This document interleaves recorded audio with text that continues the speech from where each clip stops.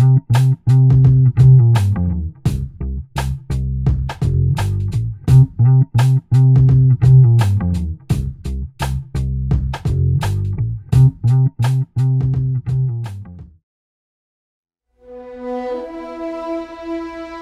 was the most beloved architect of our time.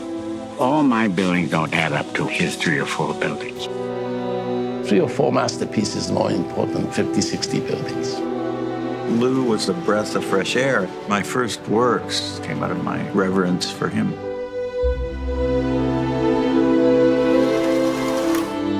I didn't know my father very well. He never married my mother, and he never lived with us. I needed to find out who he really was. So I set out on a journey to see his buildings and to find whatever was left of him out there. Hi, this is Nathaniel Kahn calling. Don't think that he was always trying to be a prince. He did not understand it. Isn't it just two strong egos? It's pure ignorance on Lou's part. Did you ever drink with Lou? yeah, you should ask my first wife. Did anybody know that Lou had three families all at once? No. That was part of his mystery. No camera, please.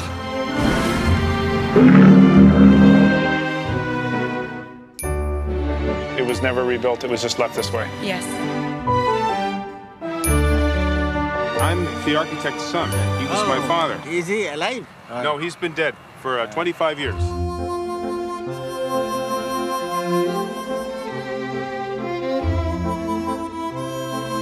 He has a very romantic idea of what home was, and he could never build it for himself. how accidental our existences are, how full of influence by circumstance. He had enormous amount of love. To love everybody, he sometimes do not see the closest ones. He cared in a very different manner, and he paid. He paid his life for this. He never saw it finished. He did. No, he never saw this.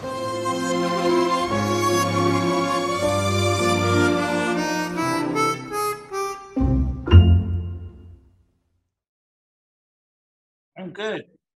How are you? Good. Good to see you again. Good to see you again. I mean, Yeah, it was uh, the midst of the uh, lockdown, I think, with the, wasn't it? It might have been after Yeah. that. Yes, with the Hunt for Planet B, right? Yeah, that's right. Yeah. Um, say thanks for being flexible this this morning. Sure. Yeah, I uh, though I, I have to say I was so grateful for the chance last night.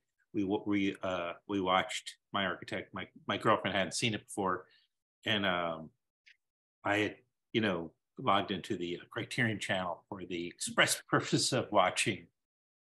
Are they playing the new uh, restored Yes, version? at Film Forum. Yes, yes, and elsewhere. Well, I know that's going to be a film forum but uh, Yeah. we're going to get to that for sure. But I, I know it's going on right now, so I'm going to get this promote promoting promoting it better late than never. But uh, I was I was actually just wondering um, if if the the if the print that the Criterion Channel is streaming was that same restored version. It is. Okay, Yep, Would- absolutely. Ho- Hopefully you could see that. That it, it looked, it it, looked it looks bright and vibrant. It, uh, it's a beautiful. It looks beautiful, but but uh, you know, just just double. I mean, It's I, hard, it's hard to tell in that. I thought it looked beautiful before, so you know, Thank you. and yeah, you're welcome. Thank you. Um, well, so yeah, so and it's at the film forum as we speak right now. I know you had a uh, Q and A the other night with Paul Goldberger. Yeah, yes, How'd it that go? It was terrific. It was wonderful. You know, the, the, um, uh, Paul wrote the obituary for my father when he was Oh. very young. So, yeah, Paul was, uh, you know, nowadays they, they, well, then too, they, they pre-wrote obituaries for, Yes. for prominent people. Um, Right. um, sort of appropriately for my father and his the the many aspects of his life. They hadn't done one for him. So when the news came in, because it was a you know it was a death that was well, I mean, no death is planned, right? But anyway, you know, he dropped in. Most, most aren't. Most aren't. In, I don't know if you've seen right. Anhit Moner's new doc, documentary. I, I haven't. No, no. But I guess that's that's that's that's true under certain also circumstances. about a father, you know. and understandably. Um, but uh, so when he dropped dead in in Penn Station, um, you know, he was not properly identified for several days, and then when the identification was made, the New York Times called Paul, and he right. had just left the office and said, you know, it has to go out over over the wire tomorrow morning. So write the obit. So he was a young reporter in his 20s. Um, uh, and he went back in and wrote the obituary, sort of, you know, and that was the days of not of word processing, but typewriters. So he typed it out, and that was the that was the way that I found out the next morning as a little boy of 11. My mother and I heard that he was. We got call that he was dead, but didn't know any details.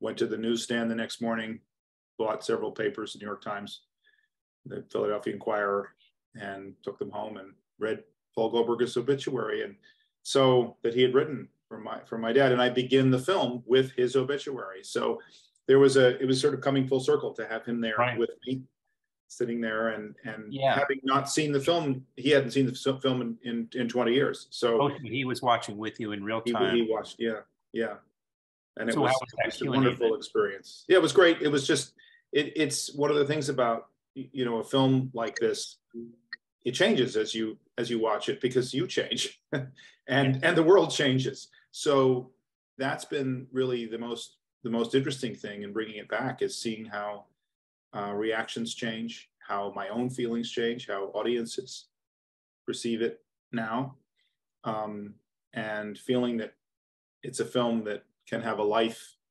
continue to have a life is the most is the most thrilling thing of all for me because you know as a filmmaker as an artist of any kind, you hope that you connect with people. That's why part of the reason one one does it. So to know that one is still connecting with something that is from a number of years back is is means a lot. Well, this all those you know themes and the um, the ideas behind the doc, they're all, I mean they're all still very relevant. People still still have complicated with um, uh, relationships with parents. It turns out. yes, it's been it's been going on for for a number of years now. That uh, one thing, yeah, one thing. I guess one thing, having uh, watching it now with some distance uh, between last time I saw it was it may not have been when it first came out, but it was a substantial amount of time ago. Uh, is how much you know the culture has changed in terms of just you know men's having a certain there's certain like you know level of these sort of you know the gods of architecture and of whatever you know uh, a certain level of uh, and and the amount of power they had and you know where they could i don't mean get away with like they were trying to or like your dad was trying to um, play the system in the sense that he knew he could get away with having three for instance three families you know um, uh, but you know given who he was at the time people under, us, us, us more or less understood or were not surprised anyway, like that this could happen, unless I'm mistaken. Whereas I don't think today, like that, the perception of somebody doing that would be very different. Does I'm that make sure. sense? Sure. No, I think it. I think it would be different, but I don't think. I don't think um, people people didn't approve of it then either. Yeah. No. I mean, I some of his some of his colleagues were pretty uh, blatant. I, I think. Well, though, I think I, I think I think the thing, yeah. Uh, where well, there is. I mean, there's a generational. Obviously, there are generational changes, and and much of that is is for the better. Um, in that, you know, uh, you know, bad behavior is held to account. You know, as it should be. Sure. But but I think that there are um, also subtleties in the case of you know in the case of my architect the story that's in that's contained within it it challenges you to to engage with ambiguities mm-hmm. and it, it's not it's not it does not present um, him or his world or or the choices that he made as being it's not a moralistic vision of that mm-hmm. it is trying to look at it with clarity and with emotion with compassion um, but also with um, I wouldn't say judgment, but with but with a searingly, uh, um, you know, laser focused eye on what happened. So I, you know, as a, I think certainly the people who suffered greatly from the experience were his children.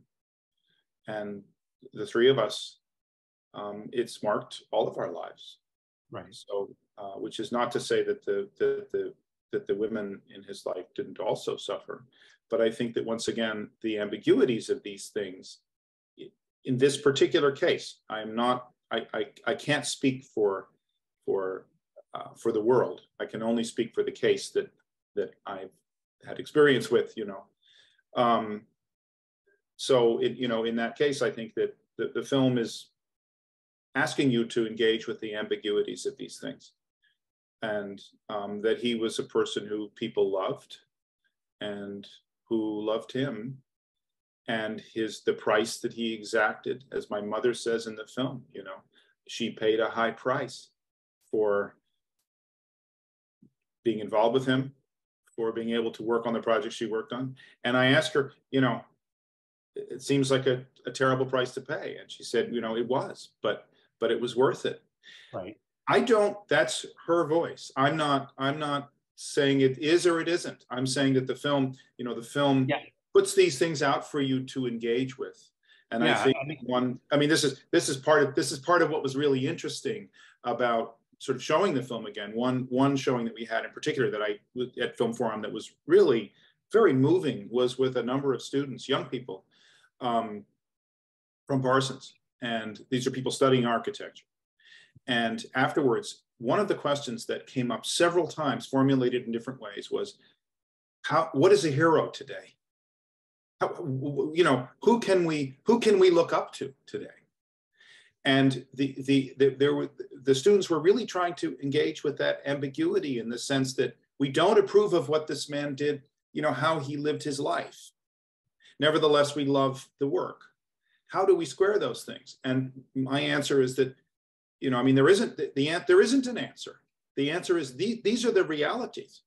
So in looking at those at those things in a way there's there was there was this kind of safe space within the wonderful environment that is film forum and it truly is a forum you know? It's a place for conversation. There was a place to talk about these questions of what is a hero today? Um you know do, do we have heroes anymore? You know so these it, it was it was really really uh, wonderful to think that the film was bringing up those kinds of very complex questions. Um, and there are no easy answers. Human beings are wildly complex Well, you know, you made the film. You are as subjective a person as could, other than your sisters, your half sisters. Uh, your dad had three different significant relationships, all of which bared one child, right?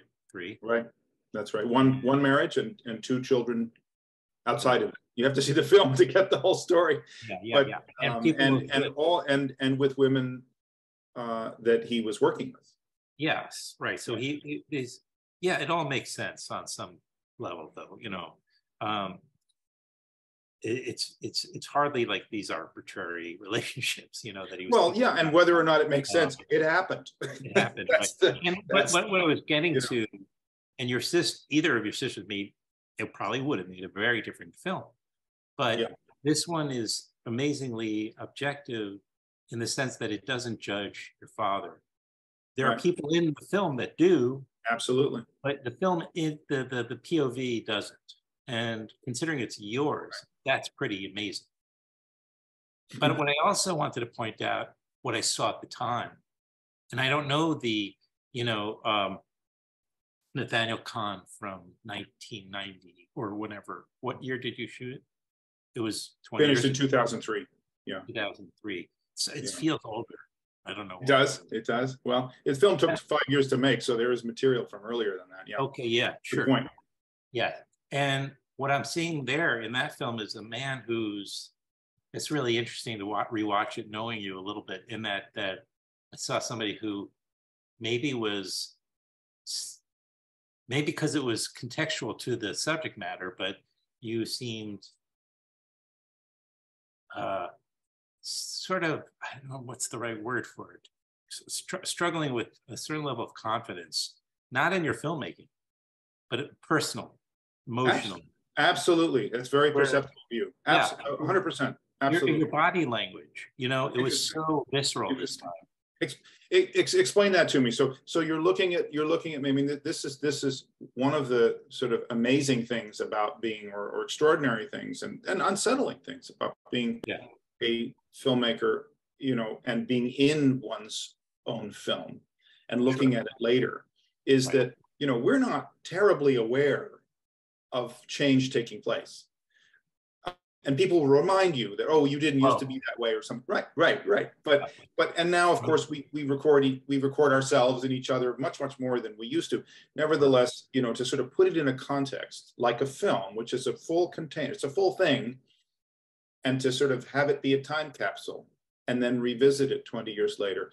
It's it's an uncanny feeling. It's disturbing to some degree. It's also sort of i mean it's disturbing because you're looking at a different vision of yourself. So you're pointing out you you perceived something about me then that that you're talking about now. And do you see a difference in me now? Or or are you sort of just observing them and, and well i know no yeah for a big difference. I mean well it's also just maturity of course right? Sure. Yes it's also just someone who's like a little still somewhat awkward maybe. Yes. But again i don't know what you were like outside of the frame right? Well, that's uh, a, that's a key point, and I think I think that one of one of the things is that there is an awkwardness at you know at any age, but certainly you know I mean I was in my late 30s when I was making that film, right? So so not a kid, not a kid, not a kid.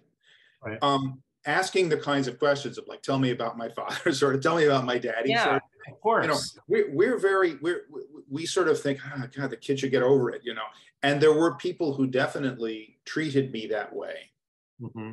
Then there were one, the ones who didn't because they were more interested in talking about themselves or whatever it was, or or they genuinely wanted to sort of they kind of accepted it and wanted to help me. One thing that I found though that when I went to India, it was treated as completely natural that at this point in my life I would be asking the questions of tell me about my father, and that was something that. Uh, that entire trip remains with me as a touchstone in my life right. because of the generosity of the people I, the individuals I encountered, not just the ones in the film, just in general, that I felt all of that awkwardness was gone, that I felt many times in the United well, States. Yeah, you're many right. Times. I mean, I cannot, you, I, I will assume that these uh, interviews or meetings maybe were you know not scripted certainly no certainly not right and for the most part probably like you were hearing these reactions in real time at the yep, moment. that's right that's right. like you repeat you discuss things first and then had the no did not did not. No no i i i eschew that you're always you're always then off kilter. You're always always. And and and i and i court i court that in in my filmmaking Uh, the worst thing is to do a pre-interview. The worst thing is to know what you're going to talk about and to say, "Oh, let, let's let's talk about this. Let's talk about that." I know they do that on talk shows and stuff like that. You can tell, yeah. you know, immediately you can tell. Oh, they t- told that story backstage, and oh, yeah, tell that one. That's a good one. To me, that's completely dead, and it's why I, right. I don't go for that kind of programming. I just find it it's canned, you know. But a, a, a great documentary film and and there are so many of them, and there's so many amazing filmmakers doing work now um, who are really hanging it out there and and getting inc- remarkable access. At, you know, I mean, that's kind of the history of the whole thing. But but to me, the going into a conversation without having met the person and truly not knowing what's going to happen that's the fun that's the tightrope of of this kind of filmmaking that yeah, makes the whole right. thing worth it and actually last night i did a q&a with bob richman who was the cinematographer that i've worked with on a number of films yeah and bob was going to ask maybe if sabine was coming what what's that I was going to ask if Sabine had. Yeah, no, no. So it, it, I mean, the, the the triumvirate there is, you know, I mean, it's, okay. it's you got to you got to film it and you got to edit it, you know. So so um, and there, you know, this film is the producing team as well. There are many people behind making up. There are not many people, but the people who are behind this film are all key. But to talk with Bob, um, that's the scariest part for me because you, as you say, you can't redo it. When you're in the editing room, you can try it a different way and you move it around. And um, in a way, that's scary too. But the but the very front end of it, when you go to film it, um, it is truly scary. And when you notice, exciting scary. But when I go with Bob on on a on a project like this, that you know, there were so many moments in that film that if the camera person had had not had the true understanding of what we're looking for, they would have missed it. So, mm-hmm. I mean, as an example, the scene um, when the man on the boat, uh, he, the only person in the film, one of the biggest problems of a film like this is you tell people that you're coming, they know who you are, they want to say nice things, or they figure out what they want to say. But the man on the boat was the only, Robert Boudreau was the only person who built a boat for the context, mm-hmm. built a boat that my father designed um, that I didn't even know existed. We found it, the producer found it, we yeah. I, I, said oh my god really a boat? And so we managed to go to the boat without the man who was the captain. It's a concert barge. It opens up and plays concerts. Um, yeah, it has a whole orchestra associated with it. The guy who was the captain and the orchestra orchestra conductor did not know that i was that I was coming, knew I was coming, but he thought I was some kind of reporter.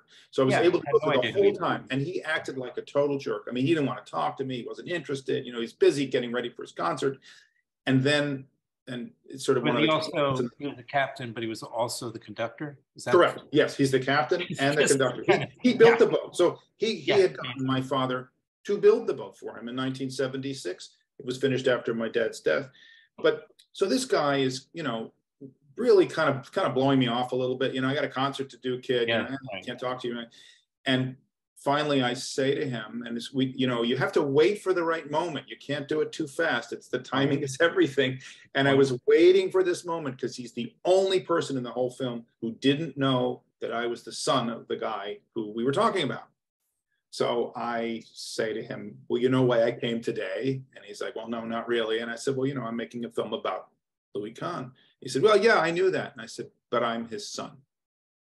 And the guy just dissolves you know, um, in this like room. like so in the moment. Um, so in the moment, process. He hear, hears you yeah. say it, processes it so yeah. quickly. It's as if he already knew it on some subconscious level. That's right. I totally agree. And it turns out he had been, and he says, "Well, I remember you." He has the age wrong. He says, "But six years old, I wasn't. I was 11. But I saw you at your father's funeral, and right. you were there with your mother. And of course, I was off in the corner because I wasn't part of the funeral party. We were off. We were not. We were, you know, persona non grata, but yeah. we were there. But yeah. he saw me then, and he dissolves. And there's this moment, and then he then he kind of reaches across and he and he hugs me. Yep. But Bob Richman, the cinematographer. Now imagine this scene from his point of view. He's I'm in front of him. He's filming me sort of over the shoulder, and then he's filming this person who we're interviewing. And suddenly, this thing, this, this enormous emotional thing happens. As a camera person, what the heck do you do, right? The answer is you do nothing. And that is where Bob Richman is, you know, a genius. And if some, if he zoomed in, if he'd panned to me, if he'd somehow made some move that that you know that any move, any move with that camera would have ruined the moment but he just sat on it. And sometimes that's the hardest thing to just be. So I wanted to have him there partly because I think it's interesting for people who don't kind of know how these um, films that that are composed partially of scenes, so-called verite. I mean, I'm not even. I don't. Uh, the word is sort of odd anyway because it's not really direct and it's not really. You know, I mean, everything that happens in a camera, there's something. There's there's an artifice involved with it. Right. It's not like being a fly on the wall as Bob says, if we're a fly, we're a really big fly, you know, big ugly fly. But nevertheless, a moment like that with a lesser camera person or a camera person, not even lesser, a camera person whose sensitivities are not for the humanity of the moment. Yeah, right. Who maybe they might have moved. Technically minded or right. Exactly. Right, right. right. Exactly. Uh, and we, we, should mention though that uh, Robert, the the the captain, the conductor, um, hugs hug, is very emotional. Um, yes. As is, which we'll get to in a moment. I was going to say, as is most of the people that knew your dad on projects were, yes. or the ones he interviewed, and he hugs you, takes a breath, and then it just says, okay, well, have uh, enjoy the show. have a nice concert. right. Okay. Yeah. Next. It was it was interesting, almost comical, but it was just a this very powerful moment in a, of, of of several in the film. And but I did want to. It's a nice way to segue because your daddy, uh, your dad was rather uh, somewhat enigmatic, obviously. Yeah. Yet, you know, through the footage we see of your dad, and there is footage, of course, and uh, but we don't really get to know a lot about him through that footage. What we get, where we do get, is your testimonials, your experiences, and the people he worked with. So, and it's amazing how, you know, given what feels like an opaque guy, and I could be completely wrong, of mm-hmm, course, mm-hmm. but that, that once somebody talks about him, they have strong, strong feelings and and strong. Absolutely. Abs- and and really, and I mean, when you say opaque, it's so interesting because people who knew him felt enormous warmth, warmth. enormous connection. Well, clearly, that was there. Yes. I mean, I think he was a little like a comet who came, you know, screaming into your orbit. Yeah. And disappeared. You know, yeah. but yeah. but eh, he's a person who changed the room, you know, and and made you feel like you were special. I mean, every everyone is special, of course, and and he was a person who respected that. He was not a remote person or a kind of or an arrogant person. I mean, uh, there was arrogance to him, but he was not a person who he, he was interested in the other person, genuinely interested in the person he was with. And I think that that people who worked with him, you know, felt that, and there is an enormous generosity in that. So once again, we're back to these ambiguities. A person who is so generous yeah. and so warm in the moment is also able to be so cold on a certain level so so so tough so self-involved so so concerned right. about the work that he's doing that the human cost while understood and this is the this is the point this is not a person who like just didn't care or didn't notice not at all and that's that's why i sort of resist the idea of of opaque because he was oh, very yeah. connected but there was a kind of a steely insistence that work in the end is the only thing that you can count on. And I mean, well, yeah, I mean, I guess what I was, believe, you know, the limited footage that we see in the film of him, is someone who's inside their head. I get, you know, maybe a, a pig wasn't. That's a great. That's a great point. But I want to be specific about that, and that that's about Sabina, because you know, as we worked together, Sabina and I, and we had you know several troves of footage, and obviously one of the problems with today is that there's so much footage uh, and and it's it's kind of soulless because it's just we're just blanketing everything with you know everything's the iphone whether it's your meal or it's uh, somebody's funeral or it's a wedding. It's all sort of the same and it's all on your iphone and you might lose it one day and think oh my god i've lost my you know my life memories. But the reality is we're all recording way too much crap right well yeah so you know so so you know when i say we had troves of material we had a bit, but not that much. But we did have interviews with him and we had encounters with him and we had, you know, quite a bit. But we didn't choose those things. We chose the things where they're exactly like what you're saying. I wanted to try to find the moments when he wasn't thinking about what he was saying or when he wasn't you know sort of performing himself if you will where he was just kind of being himself and kind of caught unawares by the camera because cameras are good at that mm-hmm. um, so those moments where you say he's kind of interior, you're absolutely right. Those are, but those are the ones we chose because they seemed like the ones that would present him as a person as opposed to him as someone kind of performing himself or putting himself forward. It was more him unguarded that we wanted. And that, that's that's what I found most intriguing was how did he walk? How did he how did he move? How did he how did he, you know, there's a moment where he's kind of looking confusedly, not sure whether to go this way or that path or whatever it is. And that was such an emblematic one. We slowed it down. We slow it down in the film a little bit. Use it, in fact, I think, well, we use it just once, but we slow it down. And it's moments like that that I have enormous, suddenly empathy for for the person, and that I feel really connected to a part that I didn't get to see as a child. So anyway, we made those choices, and Sabina was obviously was you know a genius at that and and she is as as an editor she understands those moments and picks them where a person is most revealed most most themselves you could call it most vulnerable but really it's just most themselves mm. um, mm.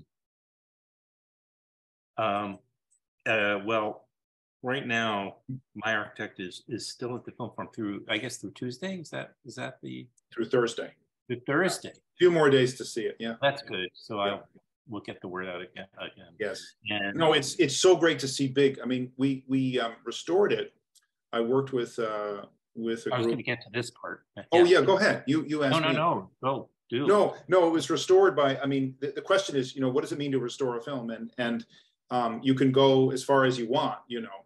And I wanted to go as far as possible, just because because I, you know, it's a it it it it's a it felt like it deserved it. It it was asking for me to go back and there was certain technology that we couldn't at the time. We made a beautiful 35 millimeter print at the time but it was from multiple, you know, 2003, but from multiple sources. So the film is that that kind of made at that moment when technologies were changing a lot. So some of it was shot in 16.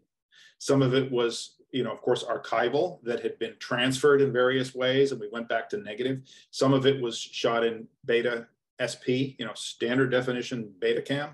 Some of it was shot in DV, you know, wow. DV cam. So to kind of meld all those things together and make it seamless was was difficult at the time. Um, we did it pretty well, and then yeah. we did tape, you know, a, a, film 35 millimeter output of the of the of the film, and then of course you put together with the beautiful score of Joseph Vitarelli, which is such a gorgeous gorgeous score. That was recording that was a real thrill. We recorded in Los Angeles. Um, but trying to put all those things together at the time, we did the best we could. But going back to it, there are technologies now available that really allowed us to kind of pull those things apart again into the fields that are, you know, the the the video um, signal then was composed of fields. It wasn't it wasn't a frame. It was you know happening twice twice a frame, and being able to stick those things together properly and go from the 30 frames a second of video to the 24 frames and do it really well so there's no stuttering or jumping there's new technology available. And I worked with a, a terrific, really wonderful artist in his own right, cinematographer Patrick Lindenmaier at a, a company called Andromeda. Sure. Um, in Switzerland, in Zurich. Okay. Where Sabina is from as well. Um, and he loved the film and just went the full distance of really going back to source materials, pulling things apart again. And we were able to, I think now make it much more, it's more, we didn't change it but we we um, made it smoother visually so that things things sort of fit together a little a little more smoothly um, but not changing any of the edits. But when you encounter when you have dv next to next to 16 millimeter next to next right. to you know betacam it now seems like one one format yeah. And that so um, that that was a lot. And then the soundtrack too. So a lot was done. Can i well, well who approached whom? I mean, uh, I know it's being dis- this new new restored uh, version yes. uh, is was is distributed by Abramorama and um, but who yeah? Uh... Oh yes, well I I know I know Richard Abramowitz from from um, from doing the price of everything together. So he distributed that film. They, they distributed that film, and we didn't have that long a theatrical run with the film, unfortunately. Uh, we could have, but therein lies a tale. But uh, but but um, with my architect, I wanted to bring it back uh, theatrically and also do the criterion um, component of it, do, do both things. So I um, decided I would do that. and I, I, I approached it from, what's yeah. that? Oh, I was saying the 20th anniversary is a great. Yes, 20th anniversary. So I approached Richard. Richard. Richard loved the film and said, you know, we'll we'll do it. We'll take it out theatrically. So bringing a film back, especially especially a documentary film, which you know it's it's very difficult to make a theatrical run the, for the first time. It's hard enough to bring a film back. It's doubly hard. But I'm so gratified to see that people are going to see it in the theater, and Film Forum has done well with it. And we're taking it around. Abramorama is now booking it around the country. So I hope that wherever people see this this program, that when it comes to yeah your your city that you'll see it because it really is something that should be seen on a screen projected and with other people. That's the thing. You know, we think with big 60 inch monitors and, and bigger, you know, that somehow we're getting the best possible theatrical experience from these films. But, you know, uh-uh.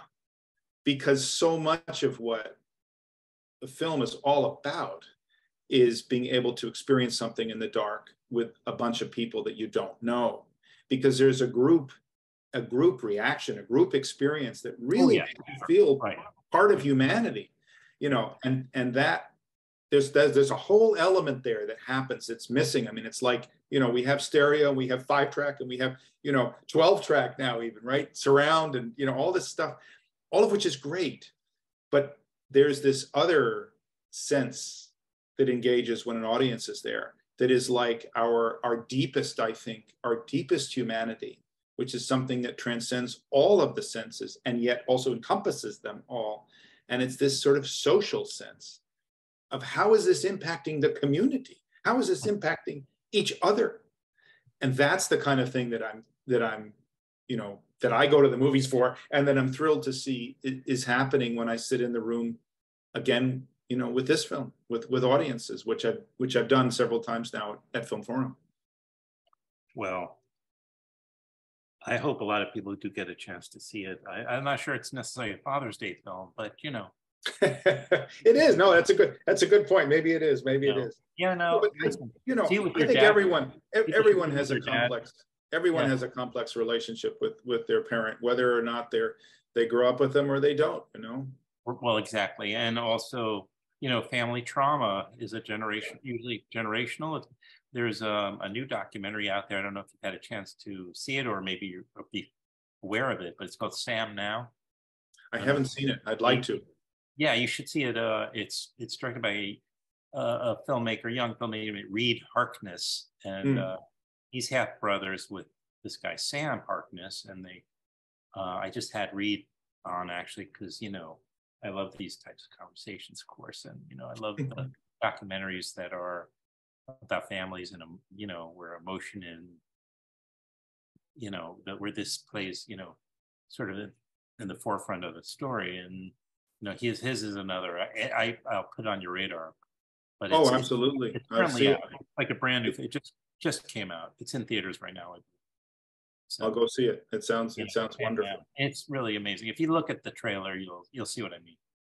Um, and um, yeah, so uh, well, thank you for you know agreeing to do this. I mean, this has been a real treat to reconnect with you and and for the opportunity to watch my architect again all these years later. Um, it's, it's, it's, it was a wonderful uh, experience. Thank you. Yeah, you're welcome. Uh, so, uh, yeah. So until next time. until next time. Thank, no, conversations like this, it, it, it inspire me to work harder yeah. Yeah. and make another good film. You know, it's it's yeah. so hard, but it's so great to be able to really talk about what we do together. So thank you for doing what you do. It's it's really it's it's a pleasure to be to talk with you. Oh, I appreciate it. All right. Um, all right. Well, I'll see you in Brooklyn or Yes. Well, wait, sure. Let's yeah. Let's and do that. you're up in the Hudson Valley, let me know.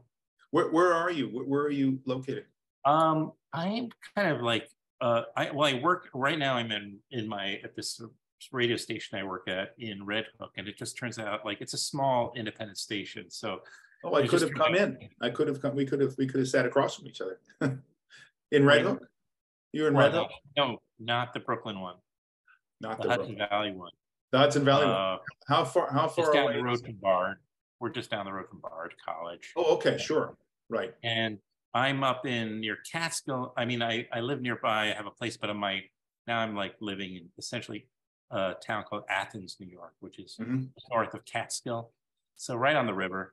And my life is, you know, but the thing about the Hudson Valley is it's just you're, you know, you're always scooting around from like Woodstock to Rhinebeck to get because that's the social nature of, of living up here. So it's like, it's it? almost like I'm so intrigued by that. So you, so in terms of this, like you go for dinner at somebody's place over in Rhinebeck and then you'll go somewhere. Uh, yeah.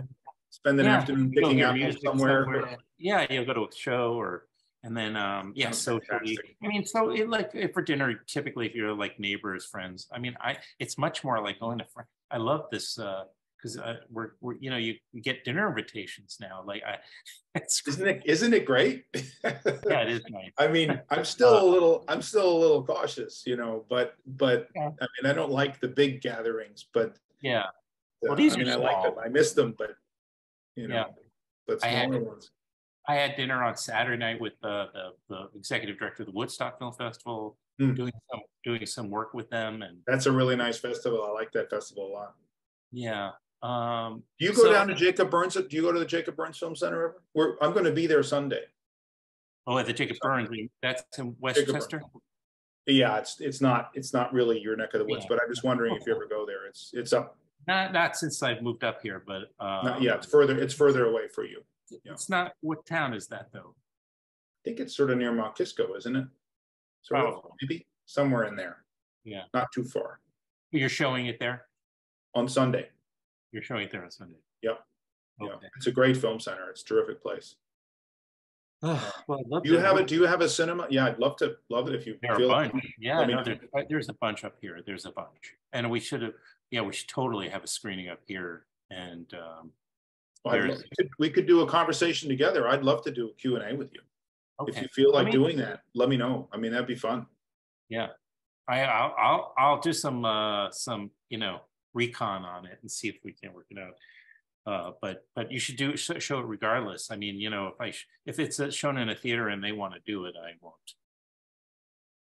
Sure.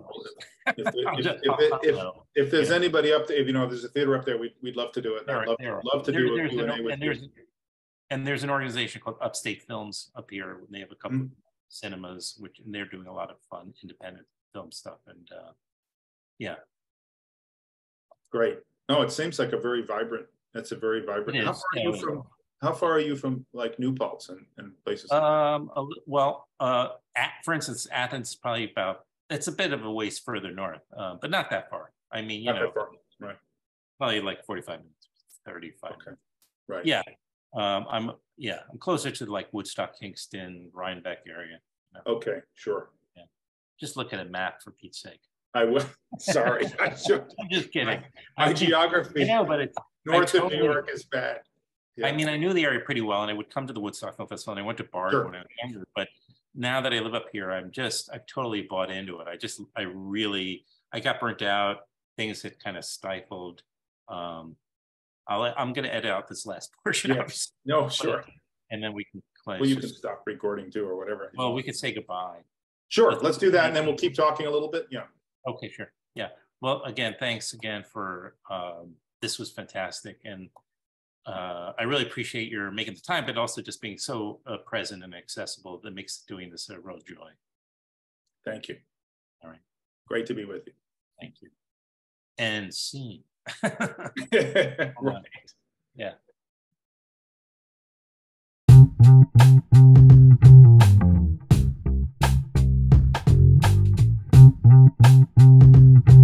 you.